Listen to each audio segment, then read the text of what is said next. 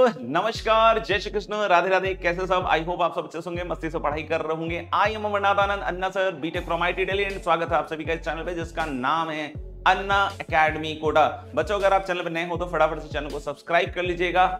बहुत सारे बच्चे जो जे एडवांस 2024 का एग्जामिनेशन लिखने वाले हैं, उनके लिए वीडियो गेम चेंजर हो सकता है।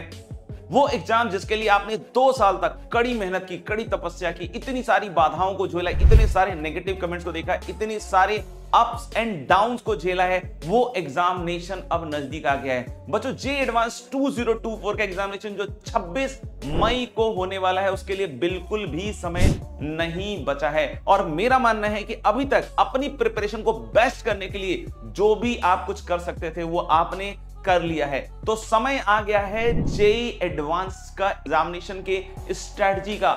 हमें बिल्कुल अपनी स्ट्रेटजी को बेहतरीन बनाना होगा सो दैट कि नंबर जो है बहुत तगड़े आए। बच्चों, मैं 20 साल से शिक्षा की काशी कोटा में जेई मेन एंड एडवांस के लिए बच्चों को मैथ्स की शिक्षा देता आ रहा हूँ, और मेरे मेंटरशिप मेरी टीचिंग में बहुत सारे बच्चों ने बहुत बढ़िया बढ़िया रैंक भी लेकर आए हैं। और मैं एक बात बहुत ही दावे से कह सकता हूँ कि जो जेई एडवांस की जो रैंक है। बहुत सारे बच्चे काफ़ी होनहार होने के बावजूद बहुत अच्छा नहीं कर पाते क्योंकि ये जो जे एडवांस का एग्जामिनेशन है बच्चों, ये छह घंटे का एक लंबा इम्तिहान है, जिसमें सिर्फ़ और सिर्फ़ आपकी सब्जेक्ट का टेस्ट नहीं होता, सिर्फ़ और सिर्फ़ आपके नॉलेज का टेस्ट नहीं होता, उसके अलावा भी बहुत सारी चीज़ें चेक होती हैं, जैसे कि आपका पेशेंस जैसे कि आपका कॉन्फिडेंस लेवल और साथ ही साथ आपका प्रेजेंस ऑफ़ माइंड अगर ये सारी चीज़ें अगर हमने एक साथ एक्वायर कर ली तो जे एडवांस के एग्जामिनेशन के अंदर एक अच्छी रैंक लाने में आपको कोई नहीं रोक सकता है। अब आप में से बहुत सारे बच्चे ये सोच रहे होंगे कि, सर, हमें तो स्ट्रेटजी नहीं पता है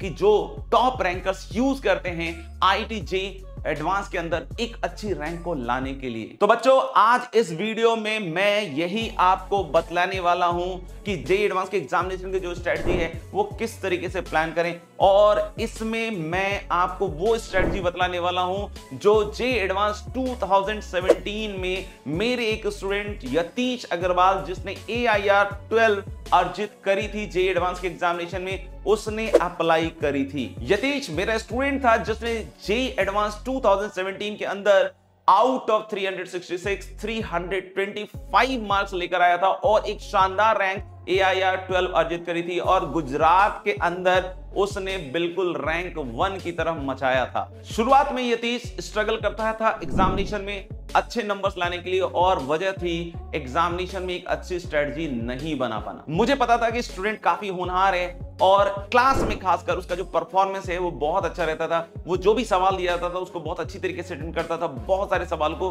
बहुत आसानी से सॉल्व कर देता था। तो मुझे समझ में आ गया था कि इसको जो गाइडेंस चाहिए that is related to examination strategy मैंने बहुत सारे पॉइंट्स जो है, वो यतीश को बतलाया जिससे उसके एग्जामिनेशन स्ट्रैटेजी में काफ़ी सुधार आया और अल्टीमेटली वो ए आई आर ट्वेल्व तक पहुँचा, जो कि उसकी प्रिपरेशन जर्नी की सबसे बेहतरीन रैंक थी। तो बच्चों, ये जो पॉइंट जो मैं डिटेल में आपके साथ आज डिस्कस करने वाला हूँ, अगर आपने इसको बेस्ट तरीके से यूज़ किया तो मेरा मानना है कि 50 से 60 परसेंट भी आप एग्जामिनेशन में इंप्रूव कर सकते हैं। पॉइंट वन है बच्चों जे एडवांस एग्जामिनेशन की अंडरस्टैंडिंग बच्चों, सबसे पहले हमें समझना पड़ेगा कि जो जे एडवांस का एग्जामिनेशन है, वो छह घंटे का लंबा इम्तिहान है, जो जे मेन से काफ़ी डिफरेंट है। और साथ ही साथ, अगर हम देखें तो हम जेई मेन में कहीं ना कहीं 300 नंबर के आसपास की लड़ाई लड़ते होते हैं। और यहाँ पे जो हम बात करने वाले हैं दैट इज़ ऑफ़ 360 मार्क्स करीब करीब, वो थोड़ा बहुत फ्लक्चुएट हो सकता है, लेकिन ये 360 मार्क्स दोनों पेपर को मिलाकर है। जहाँ पे जेई मेन एक हाई आप बोल सकते हैं स्कोरिंग एग्जामिनेशन होता है आजकल जनरली लेकिन जे एडवांस की अगर हम बात करें तो अगर हम 50 परसेंट तक भी अगर नंबर लेकर आते हैं तो हम एक बहुत अच्छी रैंक लेकर आ सकते हैं। मतलब क्या है सर इसका? इसका मतलब सीधा सीधा यह है कि जो जे एडवांस के एग्जामिनेशन की बात करें तो आपको यहाँ पर ऐसा नहीं सोचना है, अपने थॉट प्रोसेस को ऐसा नहीं बनाना है कि हर क्वेश्चन को अटेम्प्ट करना इज़ नेसेसरी अगर हम बात करें कि जे एडवांस के एग्जामिनेशन के अंदर अगर हम अपने आप को ज़्यादा से ज़्यादा एक्यूरेट रख पाते हैं, ज़्यादा अपनी एक्यूरेसी को रख पाते हैं तो ये हमारे लिए काफ़ी बड़ी विन विन सिचुएशन हो सकती है। जे एडवांस एग्जामिनेशन पॉपुलर है अपनी अनप्रेडिक्टेबिलिटी की वजह से, अपने different type of test pattern के लिए, जहाँ पे जेई मेन में आप सिंगल करेक्ट और न्यूमेरिकल या फिर आप इंटीजर टाइप क्वेश्चंस करते हैं। जे एडवांस के एग्जामिनेशन के अगर हम टेस्ट पैटर्न की बात करें तो हमारे पास सिंगल करेक्ट होता है मल्टीपल करेक्ट होता है वन और मोर देन वन करेक्ट होता है। मैट्रिक्स मैचेस होते हैं कॉम्प्रीहेंशन होते हैं और साथ ही साथ आपके पास इंटीजर टाइप सवाल भी होते हैं। बहुत सारे ऐसे पेपर्स भी देखे गए हैं पास में, जिसमें सिंगल करेक्ट क्वेश्चंस नहीं भी होते हैं और सिर्फ़ और सिर्फ़ मल्टीपल करेक्ट होते हैं सवाल। तो लेकिन लास्ट ईयर्स में अगर हम देखें तो सिंगल करेक्ट का भी ऑप्शन रहता है। और ऊपर से जे एडवांस की थोड़ी कोशिश ऐसी रहती है कि जानबूझकर उसका प्रेजेंटेशन उसकी लैंग्वेज को थोड़ी कॉम्प्लेक्स रखें या प्रेजेंट ऐसा करें कि बच्चों को लगे कि ये तो काफ़ी कॉम्प्लेक्स है, जिसकी वजह से बच्चे प्रेशर में आ जाएँ और जिसकी वजह से बच्चे टेंशन आ जाएँ या पैनिक में आ जाएँ कि भाई, अब इस तरह इस तरह के सवालों को कैसे करना है? तो बच्चे सोचते हैं कि सर, प्रेशर तो आ ही जाता है ना। बच्चों, प्रेशर नहीं आएगा अगर आप मेरी बात को अच्छी तरीके से समझो और उसको फॉलो करो। इसलिए मेरी यतीश और आज भी जितने भी बच्चे जो इस एग्जामिनेशन में एक टॉप रैंक लेकर आना चाहते हैं उनके लिए एक सिंपल सी एडवाइस है कि दिमाग में कोई भी ऐसे नंबर के पैरामीटर को लेकर एग्जामिनेशन हॉल के अंदर ना जाएँ। सिर्फ़ इस बात पे फोकस करें कि हम ज़्यादा से ज़्यादा सवालों को सॉल्व करने की कोशिश करें और साथ ही साथ हम उसमें ज़्यादा से ज़्यादा एक्यूरेट रहें। एक्यूरेसी को हम बहुत अच्छे लेवल तक लेकर जाएँ। तो अपने माइंड को बिल्कुल कूल एंड काम रखिए एग्जामिनेशन के अंदर। प्रेशर आए, पैनिक आए तो भी उसके ऊपर ज़्यादा ध्यान नहीं दीजिए, क्योंकि 50 परसेंट भी अगर आपने कर लिया तो एक बहुत अच्छी आईटी एक बहुत बढ़िया रैंक आपको मिल जाएगी। आप अपने बहुत ही बेहतरीन करियर की तरफ़ आगे बढ़ जाइएगा दोस्तों। पॉइंट नंबर टू है सीक्वेंस ऑफ़ सॉल्विंग जो कि एक अपने आप में बहुत ही ज़्यादा इंपॉर्टेंट बात होने वाली है। एडवांस के पेपर में देखा जाए तो सीक्वेंस ऑफ़ सॉल्विंग बहुत ज़्यादा मैटर करती है। एक तो किस ऑर्डर में आप सब्जेक्ट्स की सीक्वेंसिंग करते हैं और दूसरा, किस ऑर्डर में उस सब्जेक्ट में जो क्वेश्चन पैटर्न्स हैं, उसको किस सीक्वेंस में आप सॉल्व कर रहे हो that is very much very very very important thing बच्चों, एक और स्टूडेंट को जिसने मैंने 2015 में पढ़ाया था, उसने लास्ट मोमेंट जाके ये जो सीक्वेंसिंग है, उसको अपनी तरफ़ से बहुत आर्बिट्ररी कर दिया था एग्जामिनेशन हॉल में जाकर, जिसकी वजह से वो डबल डिजिट रैंक में आ सकता था, लेकिन अल्टीमेटली उसकी थ्री डिजिट वाली रैंक आई। तो बच्चों, आपको ये समझना पड़ेगा कि जो सीक्वेंसिंग है दैट इज़ वेरी इंपॉर्टेंट बहुत सारे बच्चे कहते हैं कि हमें तो सर बताया गया कि पहले केमिस्ट्री करते हैं, फिर फिजिक्स करते हैं, फिर मैथ करते हैं। ये बिल्कुल भी ज़रूरी नहीं है। ये आपने जो अभी तक के एग्जामिनेशन दिए हैं, उसके हिसाब से आपको जैसे भी लगता है कि आपका एग्रीगेट टोटल जो है, जिस भी सीक्वेंसिंग ऑर्डर में बेस्ट हो पाता है, वो बहुत ज़्यादा इंपॉर्टेंट है। ये एग्जामिनेशन एक कॉन्फिडेंस का एग्जामिनेशन है। आपको सबसे प्रथम तो वही चीज़ लेनी चाहिए जिसमें आप बहुत अच्छी तरीके से कॉन्फिडेंट है, लेकिन उसमें ध्यान रखना पड़ेगा कि टाइम लिमिटेशन का भी अपने को दिमाग में रखना पड़ेगा। ऐसा ना हो कि जो फ़र्स्ट सब्जेक्ट आप लो उसमें बहुत लंबे समय तक टाइम दे दो और जिसके कारण बाकी जो सब्जेक्ट हैं, वो अफेक्टेड हो जाएँ। तो यानी एग्रीगेट टोटल को बढ़ाने की स्ट्रेटजी के ऊपर फोकस करना पड़ेगा। It can be chemistry physics math it can be chemistry math physics मेरी कोशिश यही होती है कि जो सबसे मेरा वीक टॉपिक है, उसको कहीं ना कहीं मिडिल में अरेंज करें और उसमें से जो इजी टाइप वाले सवाल हैं, उसको पहले कर लें और उसके बाद फिर अपने नेक्स्ट बेस्ट टॉपिक की तरफ़ बढ़े। जैसे सपोज़ कर लीजिए कि मेरा केमिस्ट्री का जो पेपर है या केमिस्ट्री जो है, उसमें मैं बहुत कंफर्टेबल फील करता हूँ। आई फील वेरी कॉन्फिडेंट तो पहले तो मैं केमिस्ट्री लूँगा। लेकिन कोशिश करूँगा कि केमिस्ट्री को 40 मिनट के अंदर या 35 मिनट के अंदर कंप्लीट कर लूँ। अगर मुझे लगता है कि नहीं यार, मेरा जो मैथ्स है, वो थोड़ा सा कम स्ट्रांग है और फिजिक्स थोड़ा सा बेटर स्थिति में है तो हम मैथ्स को बीच में लें। लेकिन ध्यान रखें कि बहुत लंबा वहाँ पे तुरंत से ना दें। हम कोशिश करें कि जब हम उसे पहली बार अटेम्प्ट कर रहे हैं तो इजी साइड के क्वेश्चन को बहुत जल्दी से करने की कोशिश कर लें और फिर हम फिजिक्स की तरफ़ मूव करें। और लास्ट में जब समझ में आए कि कितना और टाइम कहाँ इन्वेस्ट किया जा सकता है सो दैट हम अपने एग्रीगेट टोटल को बढ़ा सकें, फिर उसके हिसाब से हम काम करें। तो इसका मतलब हुआ कि आपको अपने कमांड के हिसाब से प्रेफरेंस को सेट करना पड़ेगा और फिर आप देखिएगा कि क्या गजब का कॉन्फिडेंस आपका पेपर के अंदर रहता है। अब बात करते हैं क्वेश्चन टाइप प्रेफरेंस की।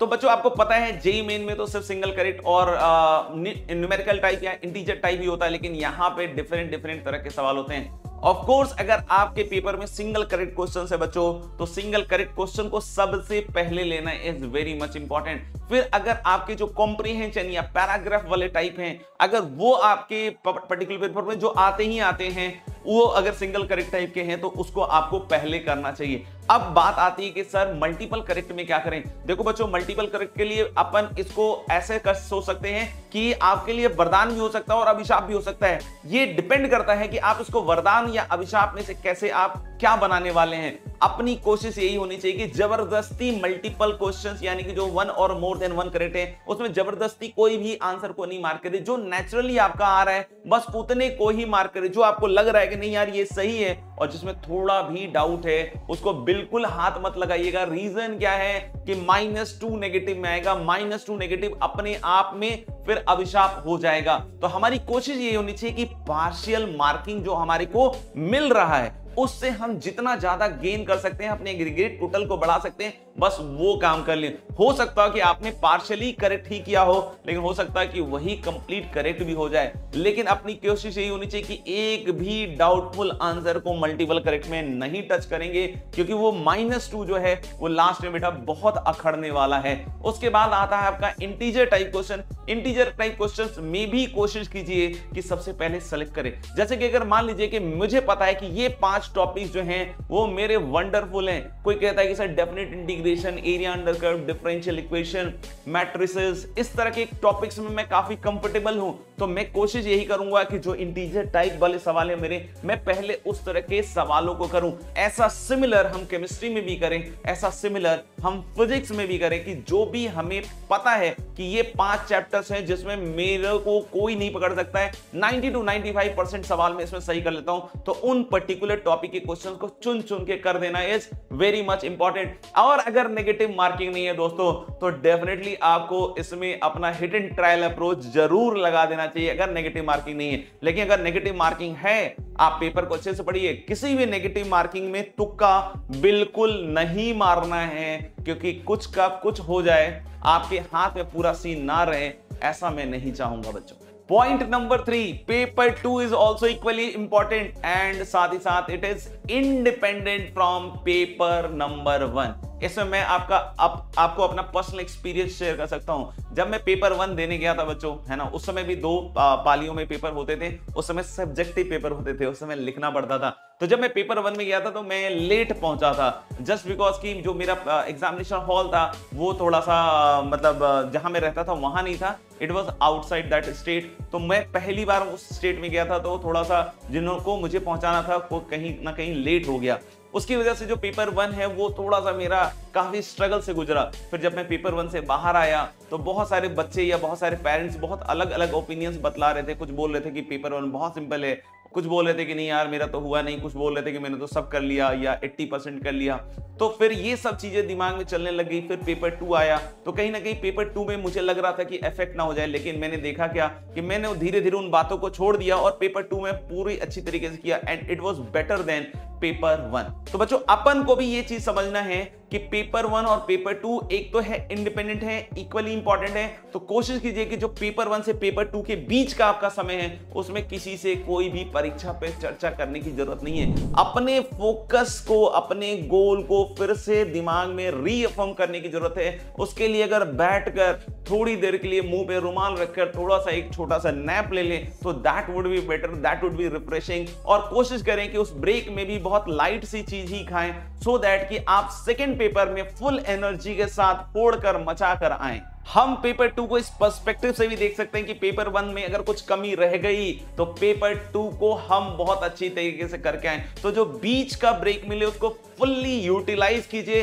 विथ अ पॉजिटिव माइंडसेट ऐसा बिल्कुल पेपर वन के बारे में सोचने की ज़रूरत नहीं है। पेपर वन को जल्दी से भूलने की भी कोशिश नहीं करनी अपने आप भूल जाना है। मतलब अपनी कोशिश यही होनी चाहिए कि एक पॉजिटिव माइंडसेट रखना चाहिए और कूल एंड काम दिमाग को जितना रिलैक्स कर पाए, उतना दिमाग को रिलैक्स करते हुए सेकेंड पेपर में जाए। फुल ऑन एनर्जी के साथ जाए मस्त मचा के आए फिर से।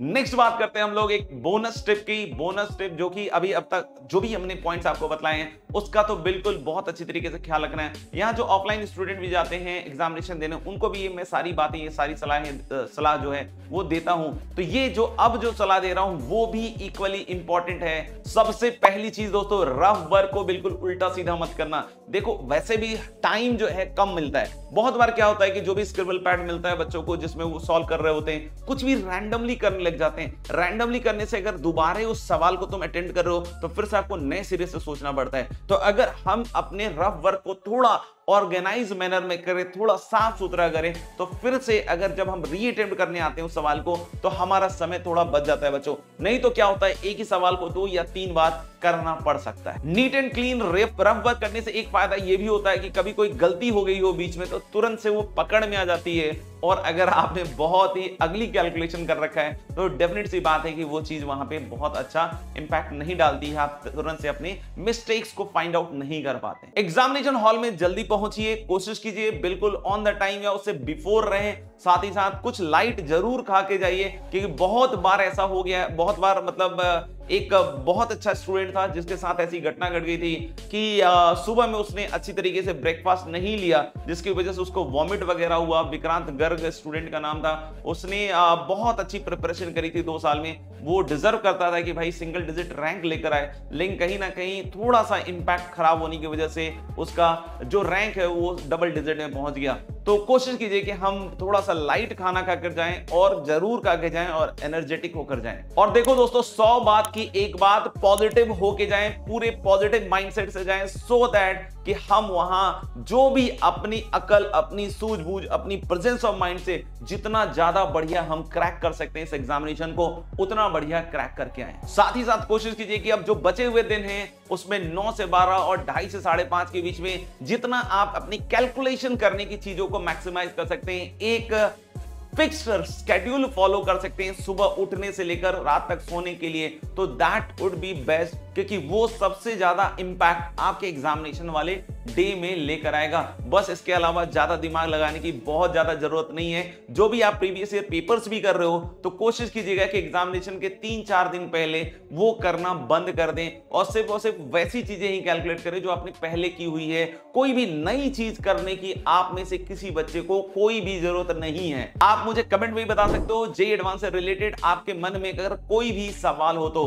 हो सकता हो कि अगर आपको 2024 में एग्जामिनेशन देना है, कोई सवाल है तो आप पूछ सकते हैं। 2025-26 में भी अगर जे एडवांस के अंदर आपको एग्जामिनेशन देना है तो भी आप वो सवाल मुझसे कमेंट में पूछ सकते हैं। तो फुल एंड फाइनल बात यह है कि अन्ना सेना को बिल्कुल स्ट्रॉन्ग तरीके से जाना है जे एडवांस के एग्जामिनेशन में मचाना है। छह घंटे को बैरियर नहीं समझना है, इसको एज अ बून समझना है। हमें सोचना है कि भाई अगर पहले पेपर में कुछ कमी रह गई तो दूसरे पेपर में पूरी कर लेना है। फुल एनर्जी के साथ जाना है। दिस इज़ द चांस जब आप अपने ड्रीम को, जब अपने एम को कंप्लीट करने वाले हैं तो ऑल द बेस्ट मेरी साइड से बचो एंड क्रैक योर एग्जामिनेशन बस अपनी तरफ़ से बेस्ट कर दो।